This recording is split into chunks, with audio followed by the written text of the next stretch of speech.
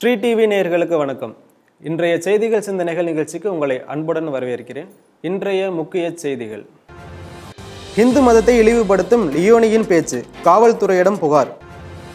மக்களை ஏமாற்றுவது திராவிட மாடலா? அண்ணாமலை கேள்வி. ஆர்எஸ்எஸ்க்கு ஆதரவான முஸ்லிம்களுடன் வியாபாரம் செய்ய மறுக்கும் முஸ்லிம் வியாபாரி. உலக அமைதிக்கு வலுவான இந்தியா தேவை ஆளுநர் பேச்சு. மோடி அரசின் செயல்திறனை வியந்து பாராட்டிய ஏர்டெல் உரிமையாளர். இன்றைய செய்திகள் குறித்து சிந்திப்பதற்கு நம்மிடையே மூத்த பத்திரிகையாளர் திரு நம்பி நாராயணன் அவர்கள் இணைந்திருக்கிறார். வாருங்கள் நேயர்களே அவருடன் இன்றைய செய்திகள் குறித்து கலந்துரையிடவும். வணக்கம் திரு நம்பி நாராயணன் சார் அவர்களே. முதல் செய்தியாக திருமாவளவனின் அறுபதாவது பிறந்தநாளையொட்டி சென்னையில் இருக்கக்கூடிய கலைவாணர் அரங்கத்தில் மணி விழா அப்படின்னு ஒரு ஏற்பாடு நிகழ்ச்சி பண்ணியிருக்காங்க. அந்த நிகழ்ச்சியில் கலந்து கொண்ட திரு லியோனி அவர்கள் வந்து இந்து மதத்தை குறித்தும் இந்துக்கள் கொண்டாடுகிற திருவிழாக்களை குறித்தும் மற்றும் யாக முறைகளை குறித்தும் மிகவும் இழிவாகவும் கேலியும் கிண்டலுமாக பேசியிருக்கிறார். இந்த வீடியோவானது மக்களிடையே பெரும் அதிருப்தியை வந்து ஏற்படுத்தியிருக்கிறது மற்றும் இந்துக்கள் மனத்தை புண்படுத்தியும் இருக்கிறது. இது குறித்து பாரத இந்து முன்னணி சேர்ந்த டில்லி பாபு என்பவர் வந்து புகார் மனுவை வந்து கொடுத்துருக்காங்க. இது காவல்துறை என்ன நடவடிக்கை எடுக்கும் என்பதை எதிர்பார்த்து கொடுத்துருக்காங்க. இதை பற்றி உங்களுடைய கருத்து. சார் திமுக அரசாங்கத்தில் எல்லா பேச்சாளர்களும் ஹிந்து மதத்தை தரங்குறைவாக பேசுகிறது வழக்கமாக இருக்குது அதில் லியோனி போன்றவர்கள் இவர்கள் ஏற்கனவே பழக்கப்பட்டவர்கள். இந்து மதத்தை பற்றி ரொம்ப மட்டமாக பேசி பல பட்டிமன்றங்களில் வழக்காடு மன்றங்களில் தன்னுடைய பாட்டு மன்றங்களில் பேசுகிறதுங்கிறது அவருடைய வழக்கமாக தான் இருந்துகிட்ருக்கு. இது ஒன்றும் புதுசாக அவர்கிட்டேருந்து வரல. ஆனால் அவரை தூக்கி நீங்கள் வந்து கல்வி பள்ளி கல்வித்துறையினுடைய சிலபஸ் கமிட்டியில் தூக்கி போடுறீங்கள் என்றால் இந்த நாட்டில் மாணவர்களை இவ்வளவு கெடுக்கிறதுக்கு இந்த அரசாங்கம் முயற்சி பண்ணதுன்னு முதல் பார்வை. ரெண்டாவது அவர் என்னெல்லாம் அசிங்கமாக பேசியிருக்காரு ஆபாசமாக பேசியிருக்கிறாரு பெண்களை வந்து ரொம்ப மட்டமாக வர்ணனம் பண்ணி பேசியிருக்கிறாரு அப்படிப்பட்ட ஆளை வந்து நீங்கள் சிலபஸ் கமிட்டியில் தூக்கி போடுறீங்க. இது முதல் அயோக்கியத்தனம். ரெண்டாவது அவர் என்ன பேசியிருக்கிறாரு யாகத்தை பற்றி ஏதோ அறுபதாவது கல்யாணம் முடிஞ்சவங்களாம் ஏண்டா நான் வந்து அறுபது பண்ணினேன்னு நினைப்பானா இந்த மாதிரி ஒரு பைத்தியக்காரத்தனம் கிடையவே கிடையாது. ஏன்னா ஒவ்வொருவரும் அறுபது பண்ணக்கூடியவர்கள் தங்களுடைய யாகம் பண்ணி ஹோமம் பண்ணி தான் பண்ணணும்னு விரும்புகிறாங்க ஏதோ கொஞ்சம் போல நான் அந்த முக புகையில் இருந்ததுனால ஏன்டா பண்ணிட்டேன்னு நினைக்கிறேன் அப்படின்னா ஒத்தரை நினைக்கல. அப்படி யாரும் லியோனிட்ட போய் சொல்லியிருக்க மாட்டாங்க. யாராவது ஒரு ஆள் சொன்னாலும் லியோனியை கூப்பிட்டு சொல்லுங்கள் எனக்கு. யாராவது இந்த ஆள் இந்த பிராமணர் இந்த முதலியார் இந்த நாயுடு அறுபது பண்ணும்போது ஹோமம் பண்ணதுனால எனக்கு பிடிக்கலை. என்னை போய் தெரியாத்தனமாக உட்கார வச்சுட்டாங்கன்னு சொல்ல சொல்ல ஒரு ஆள். அறுபது வயசு யாரும் வந்து சின்ன பிள்ளைகள் கிடையாது அஞ்சு வயசு பத்து வயசு கிடையாது கிடையாது. பெற்றோர் அவங்க விரும்பி அந்த ஹோமம் பண்ணுகிறார்கள். அப்போ ஒரு அப்போ என்ன அர்த்தம்? கற்பனையில் குற்றச்சாட்டு வைக்கிறார். பொய்யாக ஒரு குற்றச்சாட்டு. அவங்கெல்லாம் எதுக்கு தான் பண்ணுறாங்க அப்புறம் ஒரு தூணை தொடச்சி தொடச்சி தொடச்சி கடவுளாக கும்பிட ஆரம்பிப்பாங்க. இதே லியோனியை நான் கேட்பேனே உனக்கு வந்து கிறிஸ்தவத்தில் இருக்கிற மூட நம்பிக்கையை கேட்க முடியுமா? நான் கேட்பேனே. கிறிஸ்தவத்தினுடைய மூட நம்பிக்கையை கேட்க முடியுமா? கிறிஸ்தவனுடைய மூட நம்பிக்கைங்கிறது பக்கம் பக்கம் பக்கம் பக்கமாக வந்துட்டுருக்கு. கணல் கண்ணனை நீங்கள் அரெஸ்ட் பண்ணியிருக்கீங்க அவர் என்ன கேட்டார்? நீங்கள் பார்த்துருப்பீங்க. அப்போ நீங்கள் அவரை அரெஸ்ட் பண்ணியிருக்கிறீங்க அதே மாதிரி இன்னும் பல விஷயத்தில் யார் யாரெல்லாம் நீங்கள் அரெஸ்ட் பண்ணியிருக்கீங்கன்னு பார்த்தா கல்யாணராமனை மாரிதாசை கார்த்தி கோபிநாத்தை பாரதிய ஜனதா கட்சியினுடைய ஒரு பெண்மணி ஏதோ ஒரு ட்விட்டை வந்து ஃபார்வேர்ட் பண்ணதுனால இப்படி அரெஸ்ட் பண்ணிகிட்டே போயிட்டுருக்குறீங்க. ஆனால் இன்னைக்கு லியோனி மீது குற்றச்சாட்டு கொடுத்தப்பட்டிருக்கு அவரும் ஒரு ஹிந்து மதத்தை மட்டமாக பேசியிருக்கார். அதுவும் எங்களை புண்படுத்தியிருக்குன்னு ஒருத்தர் போய் பேசுகிறாரு என்ன தப்பு இருக்குது ஏன் இன்னும் அரெஸ்ட் பண்ணலை? அந்த மேடையில் திருமாவளவன் இருக்கார். அந்த மேடையில் ஸ்டாலின் இருக்கிறார். அப்போ யாரெல்லாம் அரெஸ்ட் பண்ணப்பட வேண்டியவர்கள்? அப்போது இந்த அரசாங்கம் ஹிந்து விரோத அரசாங்கமாக இருக்கிறது. ஹிந்துக்களை எதிர்த்து யார் பேசினாலும் மட்டம் தட்டினாலும் இழிவாக பேசினாலும் அவங்கள ஊக்குவிக்கிறதும் உண்மையான மூட நம்பிக்கை மற்ற மதங்களில் இருந்தால் கேள்வி கேட்டால் அவங்கள தூக்கி உள்ளே போடுறது இப்போது பாரதிய ஜனதா கட்சியுடைய கேபி ராமலிங்கம் மாநில துணைத் தலைவர். திமுகலேருந்து வந்தவர். நல்ல செல்வாக்கு மிக்கவர். இந்த சேலம் பகுதியில் இன்றைக்கி திமுகவை அசைத்து கொண்டிருக்கிறார். இப்போது ஒவ்வொரு பகுதி பகுதியாக அங்கங்கே திமுகவுக்கு ஆட்டம் வருது. அவர் என்ன பண்ணார்? தருமபுரியில் பாப்பாரப்பட்டியில் பாரத மாதா கோயிலில் போய் அன்னைக்கு சுதந்திர தினத்தன்னைக்கு அது வந்து அரசாங்கத்தினுடைய கண்ட்ரோலில் இருக்குது சுப்பிரமணிய சிவாவினுடைய மணிமண்டபம். அதுக்குள்ளே பாரத மாதா ஆலயம் இருக்குது சுதந்திர தினம் அன்னைக்கு சுப்பிரமணிய சிவாவினுடைய மணிமண்டபத்தில் வழிபாடு இல்லை என்றால் பாரத மாதாவுக்கு வழிபாடு அப்போ இந்த அரசாங்கம் என்ன சுதந்திர தினம் பண்ணுது? அப்போ இவங்க எழுதியிருக்கிறாங்க. நாங்கள் வருவோம். அந்த ஆள் போட்டுட்டு போயிட்டாங்க. அப்போ சுதந்திர தினத்தன்னைக்கு பாரத மாதா வழிபடாமல் வேறு யாரை வழிபட முடியும்? பூட்டை உடைச்சதுக்காக அவரை கைது பண்ண வராங்க. அவர் வந்து ஃபிசிக்கல் ஃபிட்னஸுக்கு போகிற இடத்துல அவருக்கு பிளாக் இருக்குது ரெண்டு பிளாக் இருக்குன்னு பார்க்குறாங்க ஆஞ்சியோ பண்ணுங்கிறாங்க. அதுக்காக அட்மிட் ஆகிறாரு. அவர் ஹாஸ்பிட்டலில் போய் டாக்டர்கள்ட்டேருந்து நீங்கள் ஃபிட்னஸ் சர்டிஃபிகேட்டை வாங்கி அது உண்மையாக பொய்யாங்கிறது ஆராய்ச்சிக்குரியது நேற்று அரெஸ்ட் பண்ணி கூப்பிட்டு போகிறீங்க அப்போ இந்த அரசாங்கம் தன்னுடைய எதிரிகளை ஒடுக்குவதாகவும் ஜனநாயகம்லாம் பேசுகிறாங்க தவிர ஜனநாயகத்துக்கும் இந்த அரசாங்கத்துக்கும் சம்மந்தம் கிடையாது. மாட்டு மத உணர்வுகளை பற்றி பேசுகிறவர்கள் இந்து மதத்தை பற்றி பேசுகிறதில்ல அதனால் ஒரு பெரிய ஜனநாயக விரோத அரசாங்கம் தமிழகத்தில் இருக்கிறது. இவங்க மோடியை பார்த்து ஜனநாயக விரோத ஜனநாயகம் ஒரு கருத்துக்காக மோடி அரசாங்கம் இதுவரைக்கும் யாரையும் அரெஸ்ட் பண்ணதில்லை. யாரையும் பண்ணதில்லை. எந்த பாரதிய ஜனதா கட்சி அரசாங்கம் பண்ணதில்லை. ஆனால் மராட்டியில் இருந்த ஏற்கனவே இதுக்கு முன்னால் இருந்த அரசாங்கம் பண்ணிகிட்டு இருந்தாங்க. மற்ற காங்கிரஸ் கவர்மெண்ட்டில் பண்ணிகிட்டு இருந்தாங்க கம்யூனிஸ்ட் அரசாங்கத்தில் பண்ணிகிட்டு இருந்தாங்க அப்போது என்ன ஒரு ஜனநாயக விரோத ஆட்சி ஹிந்து விரோத ஆட்சி? இதுதான் திமுக. இதை ஓட்டு போட்ட மக்கள் புரிந்து கொள்ள வேண்டும். திமுக நாம் என்ன சொன்னோம்? திமுக எந்த காலமும் திருந்தாது. புரியலை. இந்துக்கள் மீண்டும் அவதிப்படுகிறார்கள். அப்பாவு என்ன பேசினார்னு பார்க்குறோம். இந்த சிறுபான்மையினருடைய அரசாங்கம் தான் பேசினார். அதனால் நம்ம மக்கள் ஸ்ரீடிவி மக்களுக்கு இது தெரியும். ஆனால் இது அதிகம் அதிகம் பப்ளிக்கை போய் சேர வேண்டும் நான் நினைக்கிறேன். செங்கல்பட்டு மாவட்டத்தைச் சேர்ந்த நரிக்குறவர் சமுதாயத்தைச் சேர்ந்த அஸ்வினி என்னும் பெண் அவங்க வந்து ஒரு வீடியோ ஒன்று பேசி வெளியிடுறாங்க. இது ரொம்ப வைரலாக போயிட்டுருக்கு. என்னென்னா முதல்வர் அவர் வந்து எங்கள் வீட்டுக்கு வந்தாங்க. வந்துட்டு உங்களுக்கு வந்து பல நல்ல உதவிகளை செய்கிறோம் வீடு கட்டி தரோம் இன்னொன்று உங்களுக்கு லோன் ஒரு லட்ச ரூபா லோன் சேங்ஷன் பண்ணுறோம் இப்படிலாம் வந்து சொல்லிட்டு போனதோட சரி. இது வரைக்கும் ஒன்றரை ஒன்றரை வருடங்கள் ஆகிறது. ஆனால் இதுவரையும் எந்த சொல்லி எதையும் அவர் நிறைவேற்றவில்லை அப்படின்னு சொல்லிட்டு ஒரு வீடியோ ஒன்று பேசி வெளியிடுறாங்க. இது ரொம்ப வைரலாக போயிட்டுருக்கு. அது இல்லாமல் இது குறித்து தமிழ்நா தமிழ்நாட்டினுடைய பாஜக தலைவர் திரு அண்ணாமலை அவர்கள் வந்து ஒரு அறிக்கை ஒன்று வெளியிடுறாங்க. என்னென்னா திமுக அரசு இதற்கு வந்து இதே தான் வேலை. அதாவது சொல்வது எதுவும் தேர்தலுக்கு முன்னாடி சொன்னதை எந்த வாக்குறுதிகளும் இதுவரை செய்யவில்லை. தேர்தலுக்கு பின் கொடுத்த வாக்குறுதிகளும் இதுவரை செய்ய செய்யவில்லை. அதனால் மக்களுக்கு வந்து ஏமாற்றுவது தான் இது வேலை அப்படின்னு ஒரு அறிக்கை ஒன்று வந்து வெளியிட்டிருக்காங்க. இது குறித்து உங்களுடைய சிந்தனை. அண்ணாமலை பாரதிய ஜனதா கட்சியினுடைய தலைமை பொறுப்பு எடுத்ததிலிருந்து தொடர்ந்து திராவிட முன்னேற்றக் கழகம் என்னென்னலாம் சொல்லித்து எதெல்லாம் செய்யலைன்னு தொடர்ந்து சொல்லிட்டு வர்றார்.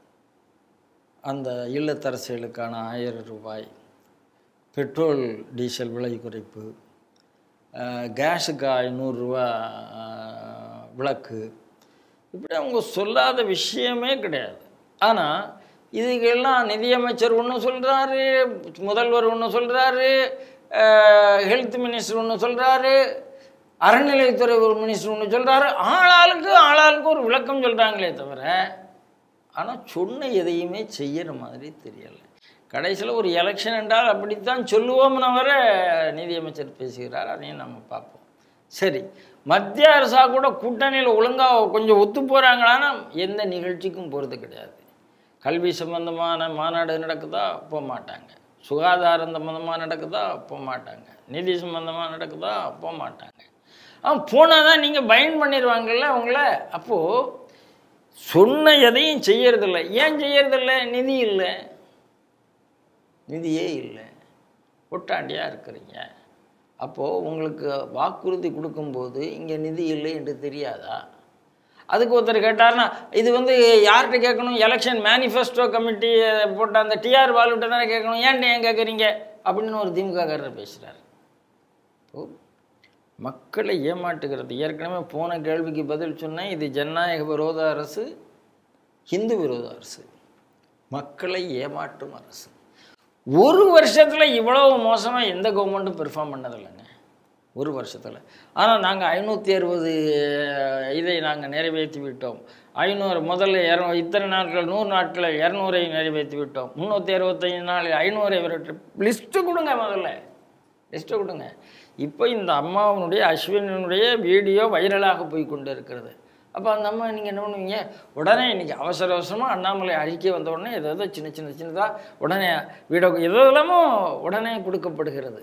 இது வரைக்கும் ஏன் கொடுக்கல? இப்போ ஏமாந்தி தானே இருந்தீங்க. இப்போ இந்த அம்மா வீடியோ வைரலாக போயிட்டுருக்கு. வைரலாக போனதுனால அண்ணாமலை பேசினார். அண்ணாமலை பேசினார்? உடனே இப்போ இதெல்லாம் செய்யணுங்கிற சொல்ல ஆரம்பிச்சிருக்காங்க. இந்த உடனே கிராண்ட் பண்ணுறாங்க எல்லாம் பண்ணுறாங்க ஆனால் இதே வீட்டுக்கு தான் ஏற்கனவே ஸ்டாலின் போனார். இந்த வீட்டில் தான் சாப்பிட்டாரு இந்த வீட்டில் தான் அவங்க பாசி மணி கொடுத்தாங்கலாம் சொன்னார் எல்லாம் சொன்னார் எல்லாம் நடந்தது. ஆ? அப்போது ஃபோட்டோ இவங்க என்ன சொன்னாங்க? அண்ணாமலையை பார்த்துட்டு வெள்ளத்தில் ஃபோட்டோ ஷூட் பண்ணுறாரு ஃபோட்டோ ஷூட் பண்ணுறாருனாரு முழுக்க முழுக்க ஸ்டாலின் ஒரு ஒவ்வொரு நரிக்குற வீடாக போய் ஃபோட்டோ ஷூட் பண்ண தவிர வேறு என்ன பண்ணாங்க? நான் என்ன கேட்குறேன் நரிக்குறவர் வீட்டில் போய் ஃபோட்டோ ஷூட் பண்ணுறையே ஆயிரத்தி தொள்ளாயிரத்தி எழுபத்தி ஒன்றுலேருந்து கழகங்கள் தானே ஆட்சி பண்ணிகிட்டு இருக்குது அவங்களுக்கு நீங்கள் என்ன பண்ணீங்க? அதாவது ஒவ்வொரு தேர்தல் கூடத்துலையும் நீங்கள் பார்த்தீங்கன்னா அமேதியிலையும் ரேபரேலிலையும் சோனியா காந்தியும் ராகுல் காந்தியும் ஏதாவது குடிசை வீட்டில் போய் சாப்பிட்டுட்டு எடுப்பாங்க எல்லா தேர்தல்லையும். ஏன்னா அந்த தொகுதி அப்படியே தான் இருக்குது அதை மாதிரி எழுபத்தி ஒன்றுலேருந்து ஆரம்பித்து இன்னி வரைக்கும் அந்த சமுதாயத்துக்கு ஒன்றுமே செய்யலை. இவர் என்ன சொல்கிறார் அந்த வீட்டில் போய் புதுசாக தட்டு வாங்கிட்டு வந்து அதில் சாப்பிட்டுட்டு ஃபோட்டோ ஷூட் கொடுத்துட்டு போயிட்டுருக்கிறார். அதனால் ஏமாற்றுவதுங்கிறது நீங்கள் ஒரு ஒரு பெட்டிஷன் கொடுக்க வராங்க ஒருத்தட்ட கேகேஎஸ்எஸ்ஆர்ட்டோ ஒரு அம்மா பெட்டிஷன் கொடுக்குது. பெட்டிஷன் கொடுத்தவொடனே என்ன பண்ணார்? அந்த பெட்டிஷனை வாங்கி அந்த அம்மா தலையில் அடித்தார் இதெல்லாம் பார்த்துக்கிட்டு இருக்கு இந்த அரசாங்கம். இப்போ ஏமாற்றுவது இல்லை கொஞ்சம் வந்தால் மிரட்டுவது உருட்டுவது எனக்கு ஏன் செய்யலை? கேட்டால் உருட்டுவது. எதிர்கட்சி கையில் கட்டினா உடனே போய் ஏதாவது தாஜா பண்ணுவது. இவ்வளோ மட்டமான அரசாங்கம் இருக்குது அதனால் திமுக ஜனநாயக விரோத அரசு ஹிந்து விரோத அரசு மக்கள் விரோத அரசு. இப்படித்தான் நான் சொல்லுவேன் சமூக வலைதளங்களில் பரவலாக ஒரு வீடியோ வந்து பரவிட்டு வருது. என்னென்னா அந்த வீடியோ இன்னும் நிறைய பேர் ரீச் ஆச்சா அப்படின்னு கூட தெரியல. ஆனால் அந்த வீடியோவில் பார்த்தீங்கன்னா ஒரு முஸ்லீம் வியாபாரி இருக்கிறதா தெரியுது. அவர் கூட இன்னொருத்தர் வந்து இன்னொரு அவரும் முஸ்லீமாக இருக்கார். அவர் வந்து மளிகை பொருள் கேட்குறாங்க ஆனால் அவர் வந்து தர முடியாது அப்படின்னு சொல்கிறாங்க இவங்க பதிலுக்கு ஏன் தர முடியாதுன்னு ஒரு கே என்ற கேள்வி கேட்குறாங்க அதுக்கு அவர் வந்துட்டு நீ வந்து சங்கி சங்கியாக இருக்கவனுக்கு நான் பொருள் தரமாட்டேன் அப்படின்றாரு. சங்கியாக இருந்தாலும் அவங்க முஸ்லீமாக தான் இருக்காங்க. முஸ்லீமாக இருந்து கொண்டு நீ சங்கியாக மாறுறதுனால அவங்களுக்கு ஆதரவாக இருக்கிறதுனால உனக்கு பொருள் மளிகை பொருள் கிடையாது அப்படின்னு அந்த வியாபாரி வந்து சொல்கிறாரு அந்த வீடியோ வந்து வைரலாக போயிட்டுருக்கு அது மட்டும் இல்லாமல் இவர் வந்து இன்னொரு கேள்வியும் கேட்குறாங்க இன்னைக்கு இன்னும் உரத்தை வந்து கேட்கறதுனால தர முடியும் சொல்கிறேன் இதே ஊரில் இன்னொரு இருபது பேர் நாளைக்கு சங்கியா மாதிரி கடைக்கு வந்து வியாபாரம் பண்ண கேட்டால் என்ன சொல்லுவேன் அப்படின்னு கேட்டதுக்கு இன்னும் நூறு பேர் வந்தாலும் இதுதான் சொல்லுவேன். நூறு பேர் வந்தாலும் நான் வந்து வியாபாரம் பண்ண மாட்டேன். உங்களுக்கு தர முடியாது அப்படின்ட்டு அவரோட வாதத்தை வந்து வைக்கிறாரு. இப்படி பிரிவினைவாதத்தை பேசிக்கொண்டு இந்த சமூக நீதி அது இல்லாமல் இந்துக்கள் வந்து தொப்புள் கொடி உறவுகள் எங்களுக்கு அப்படின்லாம் மேடையில் வந்து நிறைய பேர் முஸ்லீம் எல்லாம் பேசிட்டு வராங்க. மன மனசில் வந்து இந்த ஒரு வஞ்சம் இருக்குது அப்படின்ற விஷயத்தை எப்படி பார்க்குறீங்க அதாவதுங்க முதல்ல சங்கிங்கிற வார்த்தை ரொம்ப நல்ல வார்த்தை. என்ன சத்சங்கத்தில் யார் இருக்கானோ அவன் சங்கி. உங்களுக்கு விஷ்ணு புராண விஷ்ணு இது சஸ்நாந்தில் எடுத்தால் வனமாலி கதி சாரங்கி சங்கி சக்கி சங்கின்னு தான் வரும் அனுமன் சாலிசா எடுத்தால் குமதி நிவார சுமதிக்கே சங்கின்னு தான் வரும். சங்கிங்கிற வார்த்தை ரொம்ப நல்ல வார்த்தை. எண்ணங்களில் நல்ல எண்ணங்களினுடைய சங்கமத்தை கொண்ட நல்லவர்களோட சங்கமத்தை கொண்ட ஒருவன் சங்கி. இதுதான். அப்போ இவங்க சங்கின்னு சொல்லுவதில் முதல்ல நான் பெருமை அடைவேன் அதில் நம்ம பத்மன் அழகா ஒரு புஸ்தகமே போட்டிருக்கார் சங்கிங்கிறத பற்றி எழுத்தாளர் பத்மன். ஆனால் இவங்க சங்கி சங்கி சங்கின்னு அது ஏதோ ஒரு கெட்ட வார்த்தை மாதிரி ஒரு நல்ல வார்த்தையை பதிய வைக்க முயற்சி பண்ணார். அதாவது நான் சொல்கிறேன் திராவிட மாடல்ங்கிறது ஒரு கெட்ட வார்த்தையாக நான் பார்க்குறேன். அதை நல்ல வார்த்தையாக பார்க்குறாங்க திராவிட மாடல்னால் ஏமாத்துன்னு நான் பார்க்குறேன். திராவிட மாடல்னால் பம்மாத்துன்னு நான் பார்க்குறேன். திராவிட மாடல்னால் ஒரு பிற்போக்குத்தனமானதுன்னு நான் பார்க்குறேன்.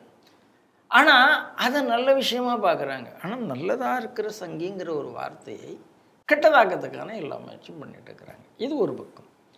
இப்போ இஸ்லாமியர்களுடைய மனநிலை எப்படி இருக்குன்னா அவங்க ஒரு கட்டுப்பாடாக இருந்து ஒரு கெட்டோ மென்டாலிட்டியோட அந்த சமுதாயத்தை கொண்டு போயிருந்தார்கள். இந்த முத்தலாக்கு வந்தது முத்தலாக்கில் ஒரு அடி. முதல் தடவையாக இஸ்லாமிய பெண்கள் அதிகமாக உத்தரப்பிரதேசத்தில் ஓட்டு போட்டிருக்கிறாங்க. இப்போ பல இடத்துல இஸ்லாமியர்கள் ஓட்டு இங்கே வர ஆரம்பிச்சாச்சு. இன்னைக்கு பாரதிய ஜனதா கட்சியினுடைய அகில பாரத சிறுபான்மை அணியாக இருக்கட்டும் தமிழகத்தில் இருக்கிற சிறுபான்மையாக இருக்கட்டும் ரொம்ப ஸ்ட்ராங்காக இருக்குது ஆச்சரியமான அளவில் கிறிஸ்தவர்களும் இஸ்லாமியர்களும் பாரதிய ஜனதா கட்சிக்கு வந்து சேர்ந்துட்டுருக்கிறாங்க. அவங்க என்ன சொல்கிறாங்க நாங்கள் வந்து கிறிஸ்டியானிட்டி பீப்புளுங்கிறது வேற சர்ச்சியானிட்டி பீப்புளுங்கிறது வேறுங்க. நாங்கள் சர்ச்சியானிட்டியில் இருக்க முடியாதுங்க. நாங்கள் கிறிஸ்டியனாக தாங்க இருக்க முடியும். ஸோ அதுக்காக நாங்கள் சர்ச்சை ஃபாலோ பண்ணணும்னு அவசியம் இல்லைங்க. நாங்கள் வந்து முஸ்லீமாக தாங்க இருக்க முடியும். நாங்கள் அதுக்காக ஜமாத்தை ஃபாலோ பண்ணணும் அவசியம் இல்லைங்க. அப்படின்னு சொல்லக்கூடியவர்கள் இன்றைக்கி வர ஆரம்பிச்சிட்டாங்க. ஆனால் அந்த ஜமாத் என்ற ஒரு கட்டளையை போட்டு அந்த மக்களை உருட்டிட்டு வந்த அந்த அதிகாரம் படைத்தவர்கள் இன்றைக்கும் அந்த அதிகார தோரணையை விடணும் அதில் வியாபாரத்துலேருந்து ஆரம்பித்து சமூக கட்டுக்கோப்பு வரைக்கும் அந்த தலாக் தலாக்லேருந்து அந்த ஜமாத்து மூலமாக பண்ணுறதை ஒரு வழக்கமாக வைத்து கொண்டிருக்கிறார். அப்படி யாரோ ஒரு ஆள் தைரியமாக நான் சங்கி சங்கி அந்த அந்த ஆள் இப்படிலாம் சொன்னால் இந்த முஸ்லீம்லாம் நம்ம கூட வந்துடுவான் நம்ம ஒரு எக்கனாமிக் பிளாக்கடு போடலாம். நாம் வந்து ஒரு வியா- வியா- வியாபார ரீதியாக ஒரு தடையை போடலாம். அந்த தடையெல்லாம் அடித்து நொறுத்தி கொண்டு வர ஆரம்பித்தாச்சு இன்னைக்கு. இப்போ ராஜஸ்தானில் ஒரே ஒரு மர்டர் ஒரு ஹிந்துவனுடைய மர்டர் எல்லாரும் இஸ்லாமியர் கூட வியாபாரத்தை நிறுத்தினாங்க எல்லாம் சரியாக போச்சு. எல்லாம் சரியாக போச்சு. நம்ம ஊரில் நிறைய உதாரணம் சொல்லுவேன். ஆனால் மாறாத மனோபாவம் உள்ள இஸ்லாமியர்கள் இன்றைக்கும் தொண்ணூறு சதவீதம் அவர்கள் தான் இருக்கிறார்கள்.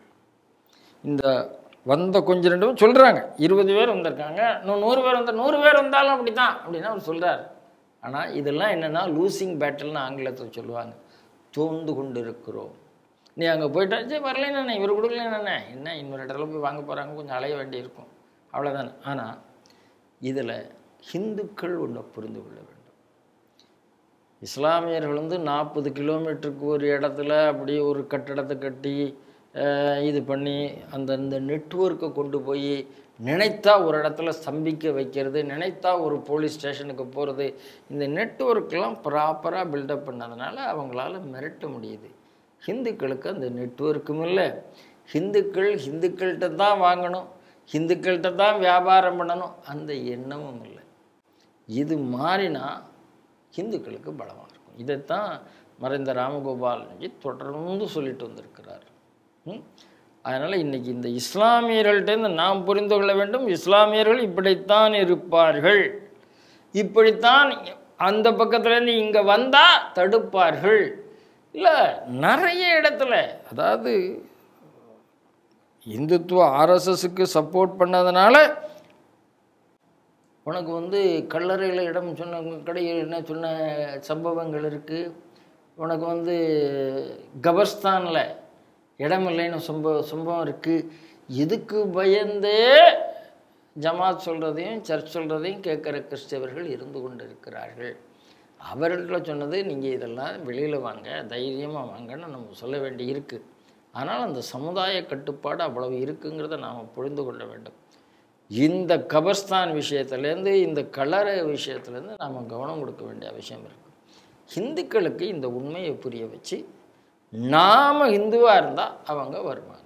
நாம் விட்டு கொடுத்தா வரமாட்டாங்க. இன்றைக்கி இஸ்லாமியர்களுக்கு புரிய ஆரம்பித்திருக்கிறது. ஹிந்துக்கள் இல்லாமலே அதாவது இஸ்லாமியர் ஓட்டுக்கு இல்லாமலே ஒரு கட்சி இரநூத்தி எண்பத்தி அஞ்சு சீட்டு வாங்க முடியும். ரெண்டாவது எலெக்ஷனில் முந்நூற்றி மூணு சீட்டு எடுக்க முடியும். ரெண்டாயிரத்தி இருபத்தி நாலு அது முந்நூற்றம்பது சீட்டு கூட வாங்க முடியும் என்று உண்மையை அவங்களுக்கு புரிய ஆரம்பிச்சிருக்கு. ஆகையினால் பலர் வர ஆரம்பித்திருக்கிறார்கள். இன்னும் பலர் வருவார்கள். அப்போ இந்த முஸ்லீம்கள் என்ன சொல்கிறாருன்னு பார்க்கலாம். இன்னொரு விஷயம் நான் என்ன சொல்கிறேன்னா நான் சமீபத்தில் ஏர்வாடியிலேருந்து சில முஸ்லீம்களை நான் சந்தித்தேன். அந்த சந்தன குழுக்குள்ளே எதிர்ப்பு எதிர்ப்புலாம் பேசிகிட்டு இருந்தாங்க. அவங்க வந்து பாரதிய ஜனதா கட்சியை ஒத்துக்கொண்டு இன்றைக்கி இருக்கிற எல்லாத்தையும் வந்துட்டு அப்போ நான் ஒரே ஒரு கேள்வி கேட்டேன் தப்பு உங்கள் தப்பு தானே? அன்னைக்கு இருந்த முஸ்லீம் லீக் எங்கே போச்சு இன்றைக்கி எப்படி பாப்புலர் ஃப்ரண்ட் ஆஃப் இந்தியா ஏன் வந்தது? ஏன் எஸ்டிவிஐ வந்தது? ஏன் தம தவி ஜவஹீத் ஜமாத் ஏன் வந்தது? ஏன் தமிழ்நாடு முஸ்லீம் முன்னேற்ற கழகம் வந்தது? பழைய முஸ்லீம் லீக்லாம் ஏன் காணாமல் போச்சு? அதுக்கு அவங்களுக்கு பதில் தெரியலை? ஏன்னா நீங்கள் வஹாபி இஸ்லாமுக்கு உங்களுடைய இஸ்லாத்தை அடக்க வைத்து விட்டீர்கள். நாளைக்கு நீங்கள் சந்தனம் கூட நடத்த முடியாது. நாளைக்கு நீங்கள் தர்கா வழிபாடு பண்ண முடியாது.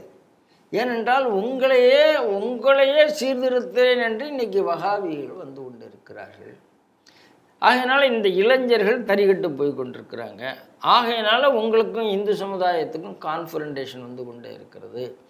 நீங்கள் முதல்ல இதை சரி பண்ணணும்னா இந்த இன்னைக்கு வந்த இந்த பயங்கரவாதத்தை ஆதரிக்கும் இஸ்லாமியர்களை தங்களை தாங்களே பெரும்பான்மை இந்துக்கள்கிட்டேருந்து ஐசோலேட் பண்ணக்கூடிய முஸ்லீம்கள்ட்டேருந்து அந்த இயக்கங்களை நீங்கள் தவிர்க்கணும். ஜமாத்தெல்லாம் அங்கேருந்து வெளியில் வரணும் அப்படின்னு நான் சொன்னேன். சொல்லும்போது அங்கேருந்து ரெண்டு மூணு பெரியவர் நீங்கள் கரெக்டாக நாடி பிடிச்சி சொல்லிட்டீங்க சார். ரொம்ப கரெக்டாக சொல்லிட்டீங்க. ஆனால் என்ன செய்கிறது இன்றைக்கி வர சமுதாயம் அப்படி மாறிட்டுருக்கு. கான்ஃபரண்டேஷனிஸ்டாக இருக்குது அப்படின்னு சொன்னாங்க. நான் சொன்னேன் உங்கள் பொறுப்பு அது அப்படின்னு நான் சொல்லியிருக்கேன். இன்றைக்கி பிரச்சனையே நான் சொன்ன மாதிரி கிறிஸ்தவர்கள் கிறிஸ்டியானிட்டி கிறிஸ்டியானிட்டியாக இல்லை சர்ச்சியானிட்டியாக இருக்கிறது. சர்ச் சொல்கிறத கேட்குறதா இருக்குது இயேசு சொல்கிறத கேட்கணும் கர்த்தர் சொல்கிறத கேட்கணுங்கிறது இல்லை. சர்ச்சு பாதிரி இஸ்லாம் ஜமாத் சொல்கிறதை கேட்குறதா இருக்குது ஜமாத்தின் பிடியிலிருந்து ஒவ்வொரு இஸ்லாமியரும் வெளியே வந்து விட்டால் சுயமாக சிந்திக்க ஆரம்பிச்சிட்டா? அவனுக்கு பிரச்சனையே இல்லை இந்த நாட்டில். வழிபாட்டு உரிமை இந்த நாட்டில் இருந்த விட இந்த நாட்டில் இருக்குது நாமளாக போய் உதவி பண்ணலாமே. ஆகையினால இந்த கட்டுப்பாட்டிலேருந்து அவனை வெளியில் கொண்டாடணும் அதைத்தான் நாம் முயற்சி பண்ணணும். இதை இன்னைக்கு இஸ்லாமியர்கள் நிறைய பேர் புரிந்து கொண்டு இருக்கிறார்கள் முயற்சி செய்கிறார்கள். அவங்களுக்கும் தெரியுது. பழைய முஸ்லீம் லீக்லேருந்து அன்னைக்கு கொஞ்சம் ஓரளவாக தான் சமுதாயம் ஒற்றுமையாக இருந்ததே. இந்துக்கள் கூட இருந்தோமே. என்ன பண்ணாலும் இன்றைக்கி எல்லாருமே இந்த பயங்கரவாதத்தில் போய் நம்ம சமுதாயத்தையே ஒரு பயங்கரவாத சமுதாயமாகவும் ஒரு அஹ், குண்டெறியக்கூடிய சமுதாயமும் கொலை கொலை சமுதாயமும் பார்க்க ஆரம்பித்து விட்டார்களே. எண்ணம் இருக்குது அதுலேருந்து அவங்க இன்றைக்கி வெளியே வர ஆரம்பிக்கணும்னு நான் நினைக்கிறேன். வேலூரில் இருக்கக்கூடிய விஐடி பல்கலைக்கழகத்தில் முப்பத்தி ஏழாவது பட்டமளிப்பு விழா நடக்குது. இதில் சிறப்பு விருந்தினராக தமிழகத்துடைய ஆளுநர் ஆர் என் ரவி அவர்கள் கலந்துருக்காங்க.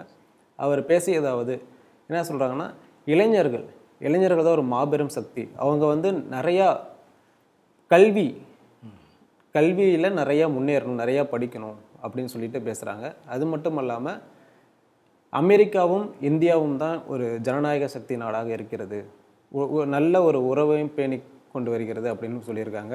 எனவே உலகத்தில் அமைதியை நிலைநாட்டுவதற்கு இந்தியாவும் நிறைய பாடுபட வேண்டும். இது மூலமாக அமெரிக்கா இந்தியாவோட உறவு நீடிக்கும். இதனால் உலகமே ஒரு அமைதியாக இருக்கும் அப்படின்னு ஒரு கருத்தை அறிக்கை வந்து சொல்லியிருக்காங்க. இதை பற்றி நீங்கள் எப்படி பார்க்குறீங்க அதாவதுங்க இப்போ வந்து நிலைமை மாறி இருக்கு. முன்னால் என்ன பண்ணுவாங்கன்னா அமெரிக்கா வந்து சும்மா எல்லா நாடுகள்லேயும் பேசிட்டு நீங்கள் வேணும் நீங்கள் வேணும்னு பேசுவாங்க. பின்னால் பின்னால் வேறு மாதிரி பேசுவாங்க. இந்த நிலைமையெல்லாம் இருந்தது. சமீபத்தில் கூட இந்த உக்ரைன் வாரில் கூட அமெரிக்கா நம்மளை எவ்வளவு கையை முறுக்க முயற்சிதோ அவ்வளோ கையை முறுக்கி பார்த்தது. ஆனால் பாரத நாடு அதுக்கு எந்த வழியும் கொடுக்கல.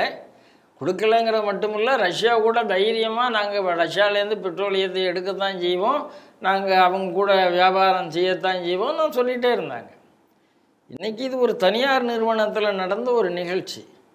ஒரு அரசாங்கத்தினுடைய ஒரு ஆளுநரும் ஒரு அமெரிக்காவினுடைய ஒரு அதிகாரும் அவ்வளோதான் அதுக்கு மேலே இதில் பார்க்கறதுக்கு ஒன்றும் இல்லை அப்படின்னு தோணினாலும் ஒரு கவர்னர் என்பவர் தன்னுடைய அரசாங்கத்தை ரெப்ரசன்ட் பண்ணி பேசுகிறாருன்னு தான் நான் அதை பார்க்குறேன்.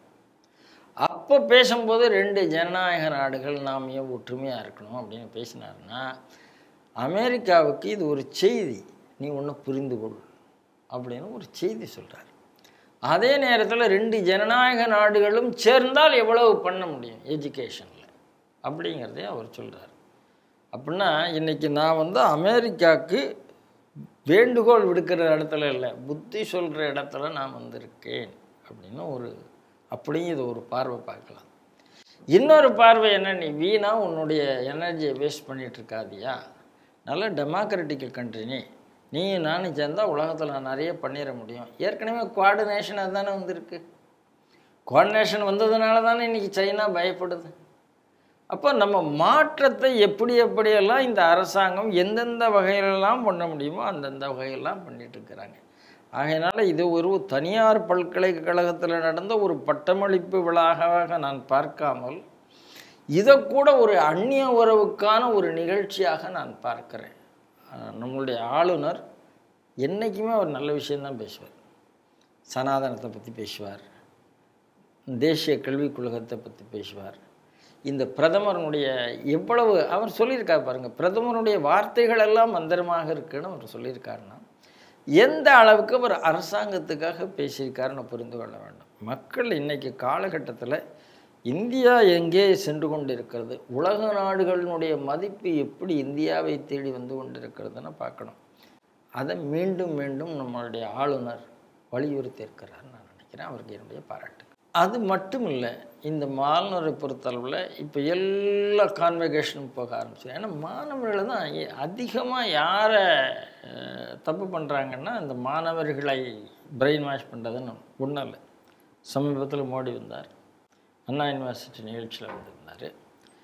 நிகழ்ச்சி அரங்கு நிறைந்து இருந்தது. அரங்குக்கு வெளியில் சில பங்கு பெறக்கூடிய மாணவர்களுக்கு இடம் இல்லாமல் அவங்களுக்கு வந்து மானிட்டரில் ஸ்க்ரீன் வச்சு அவங்க கேட்குறாரு எத்தனை பேர்? இந்த ஹால் எல்லாருக்கும் இருந்ததா? இல்லை அந்த பக்கத்தில் சில மாணவர்கள் இருக்கிறார்கள் இன்னொரு அறையில். நேரு மோடி அங்கே போனார் அவங்கள பார்த்தாரு. இந்த செய்தியெல்லாம் நமக்கு வந்திருந்ததை நம்ம பார்க்குறோம். அப்போ என்ன அர்த்தம்னா இன்றைக்கி அப்துல் கலாம் அதே விஷயத்தை பண்ணார். இன்னைக்கு ரவி அந்த விஷயத்தை கையில் எடுத்திருக்கிறார். எல்லா கான்வெகேஷன் மாணவர்கள்ட்ட பேசுகிறார் என்ன பேசுகிறார் இந்த அரசாங்கம் ஒன்றியாங்கன்றியான் தேசிய கல்விக் கொள்கைக்கு எதிர்ப்பு எல்லாம் பேசிகிட்டு இருக்கிற இடத்துல அவர் போய் இந்த நாட்டினுடைய ஒற்றுமையை பற்றி பேசுகிறார் இந்த நாடு ஒன்றியம் இல்லைங்கிற பொய்யை உரிச்சு கேட்டக்கிறார். தேசிய கல்விக் கொள்கையில் இருக்கிற உண்மையை பற்றி பேசுகிறார் அப்போது ஒரு பெரிய மிஷினை இவங்களுக்கு ஆகினால தான் அவர் மேலே ஒரு பெரிய கண்ணு இருக்குது எனக்கு. நான் ஒரு செய்தி கேள்விப்பட்டேன். சமீபத்தில் டெல்லி போன முதல்வர் எங்கள் சில அதிகாரிகள்கிட்ட மெல்ல கவர்னரை ரிமூவ் பண்ணத்துக்கு அண்ணாமலையை ரிமூவ் பண்ணத்துக்கு கூட ரகசியமாக முயற்சி பண்ணதெல்லாம் நான் கேள்விப்பட்டேன். அந்த அளவுக்கு இன்னைக்கு பயந்து போயிருக்கிறார்கள். ஆளுநர் நல்லா செய்துட்டுருக்கிறாரு இந்த விஷயத்தில் நான் இன்னும் கூட ஒரு படி மேலே போய் மாணவர்களை வைத்துக்கொண்டு இந்திய அமெரிக்க உறவை பற்றி அவர் பேசியிருக்கிறத வந்து நான் ஒரு பெரிய நல்ல விஷயமாக நான் பார்க்குறேன். ஃபைவ் ஜி அலைக்கற்றை ஏலம் சமீபத்தில் தான் நடந்து முடிஞ்சது. அந்த ஏலத்தை வந்து டெலிகாம் நிறுவனங்கள் எல்லாருமே வந்து அதில் ஏலம் எடுத்திருந்தாங்க. அதில் ஏர்டெல் நிறுவனம் வந்துட்டு சுமார் நாற்பத்தி மூணு கோடி ரூபாய்க்கு வந்துட்டு ஏலம் எடுத்திருக்காங்க. அந்த ஏர்டெல் நிறுவனத்தோட தலைவர் சுனில் மிட்டல். அவங்க என்ன சொல்கிறாங்கன்னா தொலைத்தொடர்பு துறையுடன் எனக்கு வந்து முப்பது ஆண்டுகால தொடர்பு இருக்குது ஆனால் இதுவரையில் இப்படி ஒரு உடனடியாக எனக்கு வந்துட்டு இந்த நான் பணம் கொடுத்த கொஞ்ச நேரத்திலேயே அதுக்கான ஒப்பந்தம் அலைக்கற்றை ஒப்பந்த படிவம் வந்து தந்தது. இது இது வரைக்கும் எந்த அரசும் நான் பார்த்ததே இல்லை. அதுக்காக நான் உயர்ந்து போய் நிற்கிறேன் அப்படின்ற மாதிரி அவங்க ஒரு அறிக்கை ஒன்று கொடுத்துருக்காங்க. இதை நான் சொல்லியே ஆகணும்னு வேறு சொல்கிறாங்க அது மட்டும் இல்லாமல் சரியான தலைமை இருக்குது. இப்போ இருக்கக்கூடிய தொலைத்தொடர்பு துறையில் இரு சரியான அதிகாரிகள் இருக்காங்க. அவங்களும் சேர்ந்து இந்த வேலையை பண்ணுறதுனால இது இப்படி ஒரு மாற்றம் வந்து இன்றைக்கி இந்தியாவில் வந்து ஏற்பட்டிருக்கு. இது இதோட இருக்காது. இந்தியாவை நாளை இந்தியாவை புரட்டி போட போகிறது அப்படின்லாம் பேசியிருக்காங்க. அது மட்டும் இல்லாமல் இந்த மாற்றம் வந்து வளர்ச்சி அடைந்த தேசத்துக்கு ஒரு பெரிய ஒரு காரணமாக இருக்கும். வந்து ஒரு சக்தியை ஊட்டும் விதமாக இருக்குது இது அப்படின்னு அவங்க வந்து பேசியிருக்காங்க. இதை பற்றி உங்களுடைய கருத்து. அதாவதுங்க டூ ஏலம் ஃபஸ்ட்டு கம் ஃபஸ்ட் சர்வுடன் முதல்ல யார் வராங்களோ அவங்களுக்கு. ஆனால் முதல்ல யார் வரணும்னு திட்டம் போடப்பட்டது. மற்றவர்களுக்கு தகவல் மறுக்கப்பட்டது. இவர்களுக்கு கொடுக்கப்பட்டது வந்தாங்க எல்லாம் பண்ணாங்க. ஆனால் அன்னைக்கு இருந்தது சாதாரண முப்ப முப்பது மெகாஹெட்ஸ் இன்றைக்கி எண்ணூறு மெகாஹெட்ஸ் முயற்சி பண்ணதில் நானூறு மெகாஹெட்ஸ் நம்ம கொண்டு வந்திருக்கோம். இன்னும் பாதிக்கு மேலே விற்பனை பண்ண வேண்டியிருக்கு. நம்ம நிர்மலா சீதாராமனுடைய பட்ஜெட்லேயே இதுக்கான இதனுடைய வரவு என்று போட்டது ஒரு லட்சம் கோடி தான். ஆனால் வந்திருக்கிறது ஒன்றரை லட்சம் கோடி. அரசாங்கம் நிறைய எதிர்பார்த்தது அது வேறு. அப்போது பட்ஜெட் எதிர்பார்ப்பை விட ஐம்பது சதவீதம் கூடுதலாக வருமானம் வந்திருக்கிறது. நேரடியாக வந்திருக்கு. ரெண்டாவது நீங்கள் இன்னொன்று யோசிக்கணும் என்ன யோசிக்கணும்னா இன்னும் ஃபைவ் ஜிக்கு இன்னும் ஏழு சதவீத இந்திய செல்ஃபோன் யூசர்ஸ் தான் ஃபைவ் ஜிக்கு வந்திருக்கிறாங்க. இந்த ஏழு சதவீத மக்களுக்குமே இன்னும் அதில் ஒரு கம்ஃபர்டபிலிட்டி இன்னும் வரல. அவன் எப்படி வரணும் இனிமேல் எப்படி அது மலரும் அதனுடைய யூசேஜ் அந்த நிலைமையில் இந்த அளவுக்கு நீங்கள் பட்ஜெட்டில் எதிர்பார்த்து பட்ஜெட்டை விட கூட ஒரு ஏலம் போயிருக்குங்கிறது முதல் விஷயம். ஆனால் இவங்கெல்லாம் என்ன சொல்லுவாங்க? அஞ்சு லட்சம் கோடி சொன்னீங்களே ஏன் ஒன்றரை லட்சம் வந்தது? ஆனால் பட்ஜெட்டில் ஒரு லட்சம் கூட தானே எதிர்பார்க்கப்பட்டது. ஏன்னா ஏழு சதவீதம் மக்களுக்கு உபயோகப்படுத்தக்கூடாதுலேருந்து எப்படி அவ்வளோ பெரிய பணம் வர முடியும்? வர முடியாது. இதே ஃபைவ் ஜி ஏழு சதவீதத்துலேருந்து எழுபது சதவீத மக்கள் உபயோகப்படுத்த ஆரம்பித்து விட்டார்கள்னா அன்னைக்கு இதனுடைய மாறும். அதனால் முதல் குற்றச்சாட்டு இந்த ஃபைவ் ஜியை பற்றி ஊழல் என்பதே பொய்யான முதல் குற்றச்சாட்டு. சரி இப்போ ஏலத்தில் பங்கெடுத்தவங்க. இதில் அதானி எங்கேருந்து வந்தாருன்னு கேட்குறாங்க அதானி தன்னுடைய யூசேஜுக்காக தான் எடுத்திருக்கார். விற்பனைக்காக கமர்ஷியலுக்காக எடுக்கல. அதையும் புரிந்து கொள்ள வேண்டும்.